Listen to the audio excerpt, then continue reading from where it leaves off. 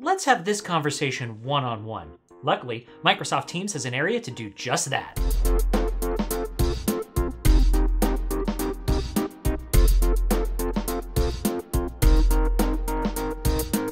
Hey everybody, I'm Kyle with Microsoft. Chats is an entire area unto itself inside Microsoft Teams with its own unique features, layout, and more. Let's learn all about chats.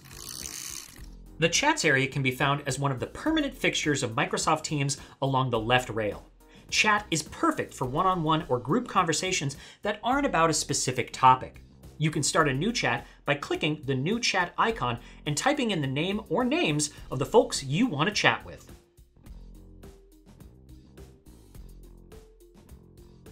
Once you have a chat established, you can click the ellipses to see a few options. You can mark the chat as unread, mute a chat to disable notifications, manage the apps added to a chat,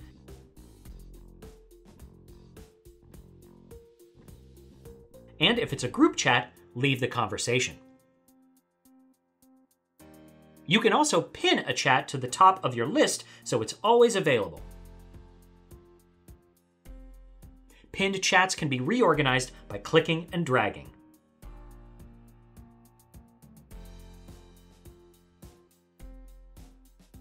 Individuals can also be added to a list of favorite contacts.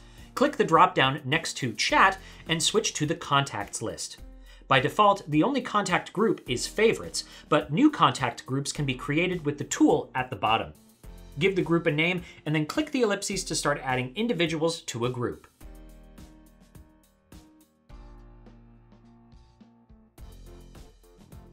Back in the chat list, there's also the option to filter your list of chats. Clicking Filter lets you search for a specific name and also gives the options to filter by unread messages, muted conversations, and chats tied to specific meetings. We'll talk more about chats from meetings in a future video.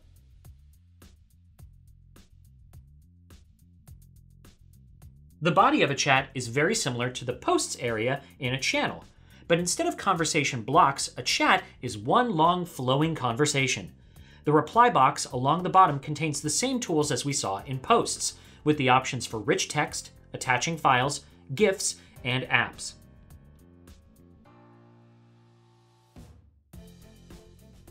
Hovering over messages also gives us the same reaction options and features like Translate and Immersive Reader, all of which we discussed in a previous video. One unique option in a chat is delivery options. The exclamation point here lets users change how a recipient is notified. Important is just like in a channel. The recipient will get notified via Teams of your message based on their notification settings. Urgent really gets their attention by causing a notification every two minutes for 20 minutes, including notifications via email. User discretion is advised. Let's wrap up by taking a quick look along the top of the chat area. You can rename any chat, even individual conversations, using the pen here. Chats also have tabs just like channels. Any files shared between chat members appear in the Files tab. You might also see options for organization and activity based on settings handled by IT. Organization lets you see the org chart of who you're chatting with, and activity will show you the posts and messages of that team member.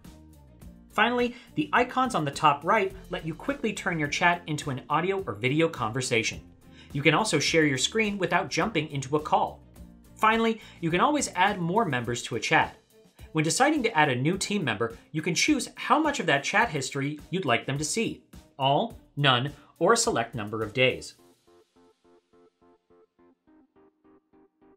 Don't forget, you can pop out any chat so you can keep that conversation handy while working elsewhere in Teams.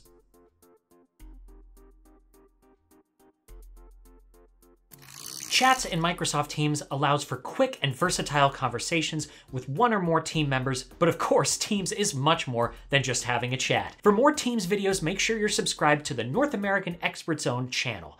And be sure to like this video and let us know what you want to learn about Microsoft Teams in the comments below. See you next time. Looking for more info to help you sell even better? Head on over to ExpertZone, Microsoft's online learning platform for courses and classes on all things Microsoft.